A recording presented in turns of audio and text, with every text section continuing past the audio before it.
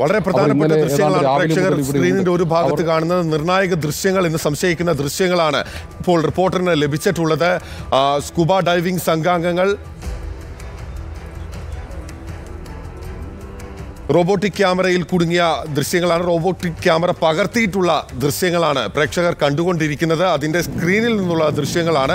അത് ജോയിയുടെ ശരീരഭാഗങ്ങളാണെന്നാണ് സംശയിക്കുന്നത്. ഈ ദൃശ്യങ്ങളുടെ അടിസ്ഥാനത്തിലുള്ള പരിശോധനയാണ് ഇപ്പോൾ നടത്തിക്കൊണ്ടിരിക്കുന്നത്. മനുഷ്യ ശരീരത്തിന്റെ ഒരു ഭാഗം എന്ന സംശയത്തിന്റെ അടിസ്ഥാനത്തിലാണ് ഇപ്പോൾ വീണ്ടും ആ ഭാഗത്തേക്ക് തന്നെ മനുഷ്യ സാധ്യമായ പരിശോധനകൾ നടത്തിക്കൊണ്ടിരിക്കുന്നത്. റിനു ശ്രീധറാണ് വിവരങ്ങളുമായി ചേരുന്നത്. വളരെ പ്രധാനപ്പെട്ട ദൃശ്യങ്ങളാണ് റിനു പ്രേക്ഷകർ കണ്ടുകൊണ്ടിരിക്കുന്നത്. കേട്ടോ. മൃതദേഹം എന്ന് സംശയിക്കുന്ന നിർണായക ദൃശ്യമാണ് റിപ്പോർട്ടർ ടി വി ഇപ്പോൾ പുറത്തുവിടുന്നത്. ഈ ജെൻ റോബോട്ടിക് സംവിധാനം ഉപയോഗിച്ചുകൊണ്ട് കണ്ടെത്തിയ ദൃശ്യങ്ങളാണ്. ഇത് ഇത് മൃതദേഹത്തിന്റെതാണ് എന്നുള്ളതാണ് പൂർണമായി സംശയിക്കുന്നത്. ഏകദേശം എഴുപത്തി അഞ്ച് ശതമാനം വരെ സ്ഥിരീകരിക്കാം എന്നുള്ളൊരു കാര്യമാണ് നമുക്ക് അനൗദ്യോഗികമായി ലഭിക്കുന്നത്.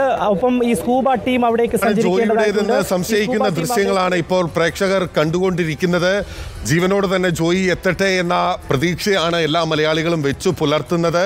അമിഴഞ്ചാൻ തോടിന്റെ ജോയിയെ നഷ്ടപ്പെട്ട ഭാഗത്തിന്റെ മുന്നോടി മുന്നോട്ട് ക്യാമറ റോബോട്ടിക് ക്യാമറ ചലിച്ച് ചലിപ്പിച്ചപ്പോഴാണ് ഈ ദൃശ്യങ്ങൾ പകർത്തിയിട്ടുള്ളത്. റിനു നമുക്കൊപ്പം തുടരുന്നുണ്ട്. റിനു തുടരാം.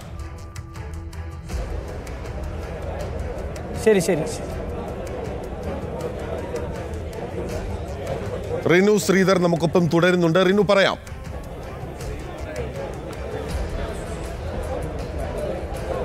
ബിനിൽ ഏറ്റവും നിർണായകമായിട്ടുള്ള വിഷ്വലുകളാണ് റിപ്പോർട്ടർ ടി വി പുറത്തുവിടുന്നത്. അതായത് അദ്ദേഹത്തിന്റെ ഈ ജോയിയുടേതാണ് എന്ന് സംശയിക്കുന്ന ശരീരത്തിന്റെ ദൃശ്യങ്ങളാണ് ഇപ്പോൾ നമ്മൾ പുറത്തുവിട്ടുകൊണ്ടിരിക്കുന്നത്. ഇത് ഈ ജെൻ റോബോട്ടിക് സംവിധാനം ഉപയോഗിച്ച് ഈ ടണലിനുള്ളിലേക്ക് ക്യാമറ കടത്തിവിട്ട് ലഭിച്ച ചിത്രമാണ്. ഇത് കൃത്യമായി വ്യക്തമായിട്ടുള്ളൊരു ചിത്രമല്ല. ഏകദേശം എഴുപത് ശതമാനത്തോളം സ്ഥിരീകരിക്കാം.